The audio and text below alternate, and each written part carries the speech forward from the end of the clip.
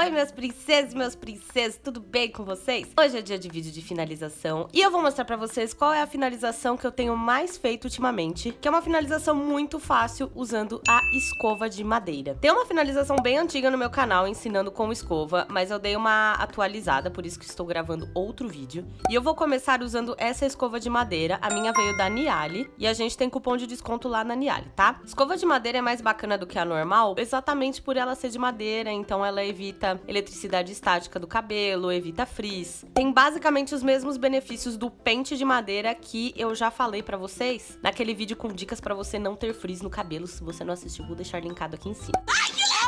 Bom, gente, eu começo penteando o meu cabelo todo para trás, inclusive a parte da frente, tá? Só para desembaraçar mesmo, por enquanto não tem segredo. E agora eu vou vir com a água. Vocês sabem que eu gosto bastante de finalizar o meu cabelo mais molhadinho.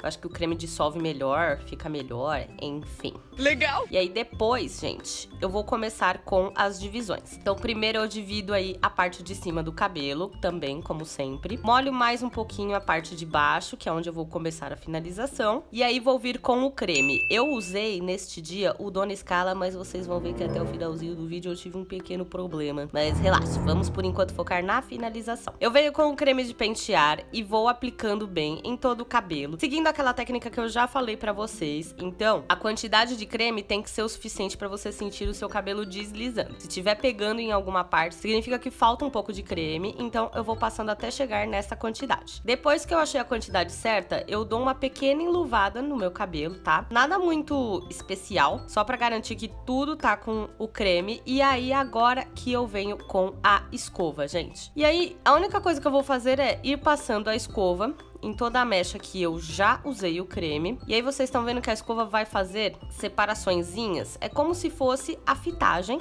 E aí, gente, não tem segredo. Eu vou fazendo sempre o mesmo procedimento no cabelo todo. E aí, quando chega na parte de trás, o negócio que eu gosto de fazer é ir pegando as mechas já com a escova sempre começando de trás para frente. Então eu vou aí, ó, sem segredo, puxando o cabelo na escova para separar uma mecha. E aí com essa mecha que eu separei, eu faço o mesmo procedimento. Então coloco água, venho com o creme na quantidade certa, dou uma enluvadinha básica e depois separo as fitinhas com a escova. Para mim, na verdade, a grande vantagem dessa finalização é exatamente finalizar a parte de cima, porque eu sinto que fica com muito menos divisão. Porque desse jeito, puxando com a escova e também passando passando a escova depois do creme para dividir as fitinhas, eu tenho a certeza de que as fitinhas vão todas para trás e aí depois quando secar, eu também vou ter a certeza de que o cabelo vai ficar sem marcações, maravilhoso. Olha que legal! E aí essas fitinhas que eu vou puxando não tem muito segredo não, tá, gente? Eu vou puxando com a escova, o que pegar pegou, vocês vão ver que não vai ficar muito certinho, mas não tem problema.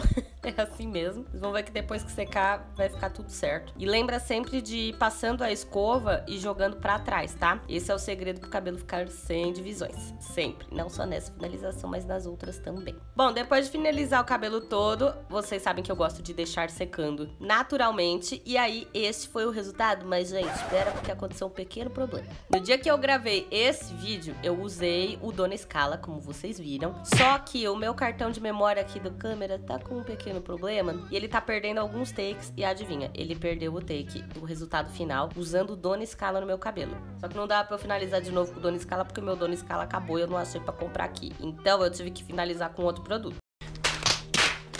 É exatamente a mesma finalização, feita do mesmo jeito, só usei outro creme, tá? O creme que eu usei foi a minha manteiga capilar, que tem disponível lá na minha loja, também tem cupom de desconto. Todos os produtos que eu usei hoje aqui, vocês têm cupom de desconto, tá? Tanto o Dona Scala e a escova de madeira, tem lá na Niali cupom, quanto a minha manteiga também tem cupom na minha loja. E o resultado fica assim, eu sinto que o cabelo fica bem definido, porque como eu faço mechinhas menores usando a escova, ele fica mais definidinho, ele fica com o volume controlado controlado do jeito que eu gosto e particularmente eu acho mais prático finalizar com a escova, por isso que tá sendo a minha escolha de finalização ultimamente, porque daí eu já tenho garantia de que o cabelo vai ficar bem dividido, tem mais praticidade, enfim, eu tô gostando bastante dessa finalização. Eu quero saber o que, que vocês acharam. Se vocês testarem, não esqueçam de me contar o que, que aconteceu, se ficou bom, se não ficou bom. Deixa aqui embaixo nos comentários que eu adoro saber. Deixa também o seu joinha para eu saber que você curtiu. Se você ainda não for inscrito no canal, aproveita para se inscrever. E é isso, amores, eu espero muito que vocês tenham gostado gostado do vídeo. Eu vejo vocês no próximo. Um beijo,